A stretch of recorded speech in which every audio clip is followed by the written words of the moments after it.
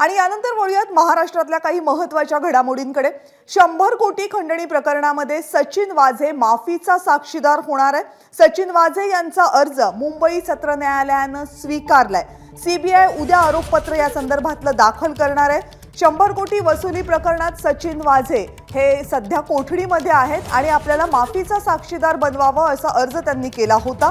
मुंबई सत्र न्यायालयानं तो अर्ज स्वीकारलाय.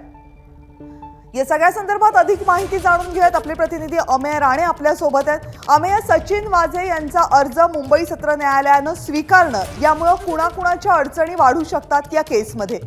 साहजिकपणे या प्रकरणी अनिल देशमुखांच्या अडचणी आता वाढण्याची शक्यता आहे कारण की अनिल देशमुख हे या प्रकरणातील मुख्य आरोपी आहेत आणि त्याच्यात सचिन वाझे हा सह आरोपी होता.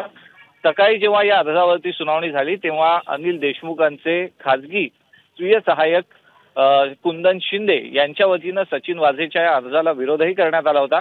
परंतु न्यायालयानं या अर्जावरती सुनावणी करण्यास नकार दिला कारण की एक सह आरोपी दुसऱ्या आरोपीच्या माफीचा साक्षीदार बनण्यावर आक्षेप घेऊ शकत नाही. त्यामुळे तो अर्ज आम्ही ऐकण्यास इच्छुक नाही असं स्पष्ट करत तो अर्ज फेटाळून लावला.